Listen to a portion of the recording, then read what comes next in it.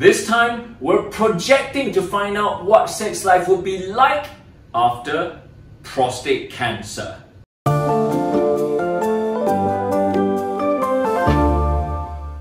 Prostate cancer itself can present like any other cancer in different stages.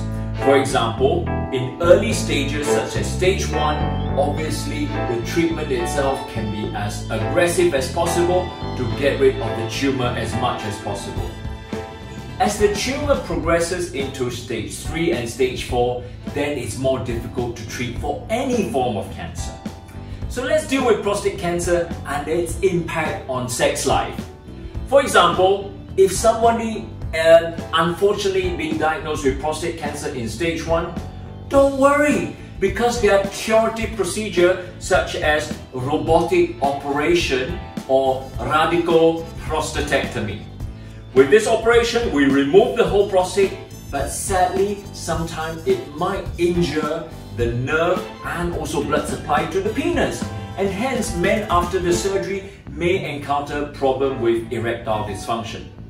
But fear not, because there are technology that will allow surgeons to do nerve sparing operation and that can preserve the sexual function.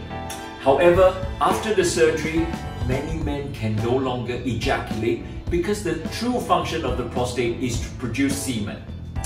Let's talk about stage 3 and 4. We call it locally invasive prostate cancer.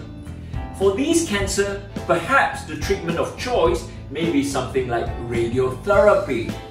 Of course, radiotherapy itself is not as good as radical prostatectomy, but it's equally good in many circumstances to cure the cancer. However, the radiation itself sometimes can actually reduce the blood flow to the penis and scar the nerves that supply the penis. And it also has the impact of erectile dysfunction. Sometimes we also have to give patients hormonal treatment which is called chemical castration that may impact on the libido. And lastly, if you're unfortunate enough to get prostate cancer at late stages, usually removal of the testicle itself or chemical castration is the treatment of choice to reduce the chance of the cancer flaring up. So on that note, it really highlights the importance of detecting prostate cancer early.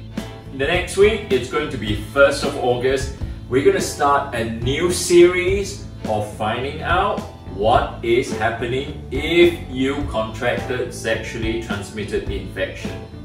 So with first group of sexually transmitted infection that we're going to do at is a virus called HIV. And you're wondering how do people contract it, what is the window period whenever you go for blood test, and also whether certain form of sexual activity is safer than the others, then you know what to do. Stay tuned for the whole month of August and stay tuned for putting Dr. G on the spot.